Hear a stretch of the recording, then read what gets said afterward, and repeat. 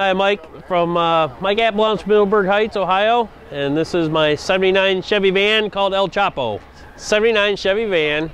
Uh, it started out as a project over 30 years ago as a father-son project, and it got put away and forgotten about. I got it.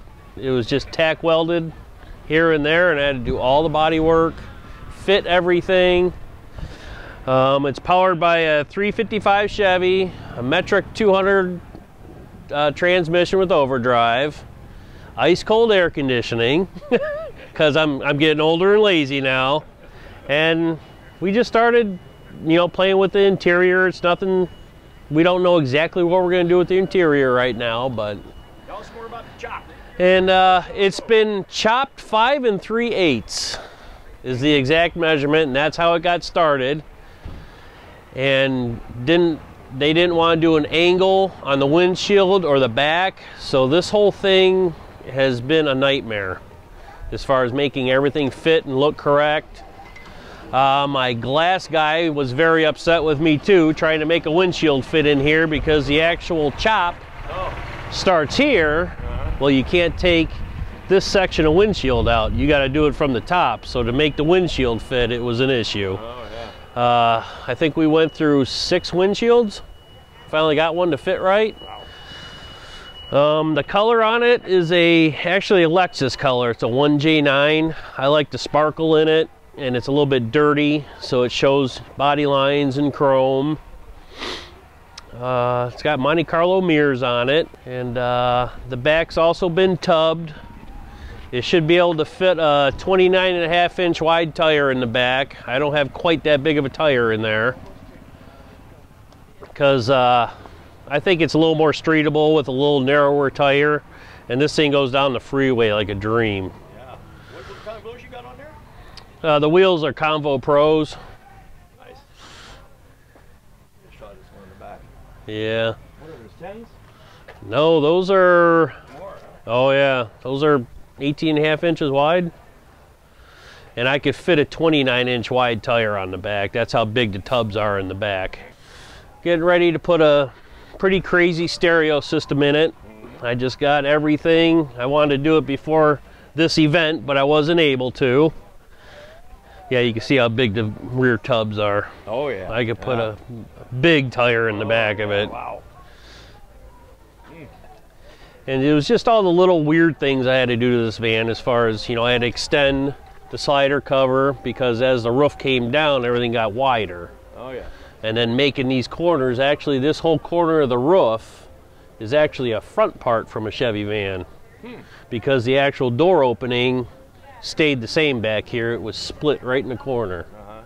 So trying to make everything look right and proportioned and it's a lot of fun. Get a lot of looks. Oh yeah. And a lot of people, you know, they I gotta look at it twice because they're like, wait a minute, yeah, it's been chopped. Yeah, it has. You gotta look. You gotta take a second look. yeah, because you know it doesn't stand out at you. You know, it's not so radical. Dramatic, yeah. Uh, drastic. Yeah. Yeah. Got a TV in there for us, you know, at night because we do sleep in it. So we watch TV and it's not bad. And out of all my vans, this is the only one that does not have a moonroof in it or a sunroof. Oh really? Yeah, because I figured all this work I did to it, I'm not chopping a hole in it. I want it to look normal. Yeah. Yeah, and the roof is was another challenge too because the actual first roof stops here. Mm-hmm. Well, by the time everything got bigger, because it got about four inches bigger here and about four inches wider in the front, mm. Had to do basically like a huge toupee on it and weld it all in because the roof's actually wider and longer now than a factory roof. Oh yeah. Okay. So, like I said, I got a ton of pictures of it. I'll send you some pictures and Yeah, definitely. it's a lot of fun though. We enjoy it. Seats, we had to drop the seats down so you're sitting there normally. I dropped the column down a little bit. Oh yeah. I guess you would have. Yeah, Yeah. You know, and I'm almost six foot tall and there's plenty of room. Yeah. Yeah. It looks like. It's just fun. I got my little short squirt. Now I got the chop top Yep. tubbed out, fun van. El Choppo. El Choppo. Nice. Yeah, the name kind of.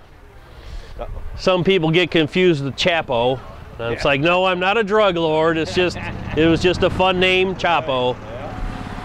And it, it's definitely got an attitude, so it kind of goes with it. And this thing has fought me from one end to the other. Everything I've done on this van, it's been twice. It does not cooperate with me. Are you Ubering with it? No, I wish I could. That's just a fun thing. Yeah. Very cool. Like I said, you know, and got I'm now I don't want to run vent windows, so Mm-hmm. I got rid of that. So Oh, it's going to be a one-piece glass.